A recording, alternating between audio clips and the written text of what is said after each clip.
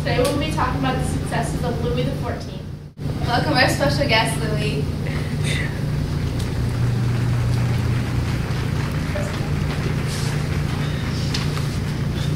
Hi guys, it's great to be here. So, Louis, is it true that you're the sun god? And the longest reigning king in European history? Yes, both of those are true. In fact, I I reigned for 72 years and 110 days. Yes, it is, but I have some competition. With who? With Ivan. And Elizabeth, of course.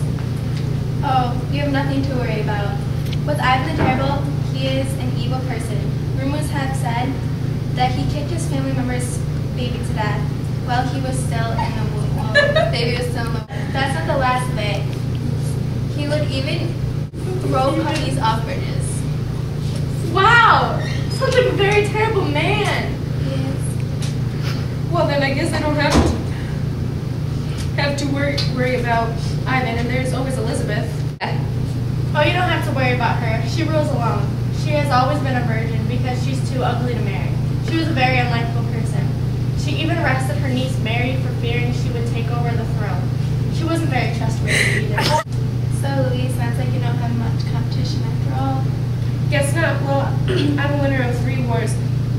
Also had France become a modern state with effective armed forces, able bureaucracy, and a practical theory of politics.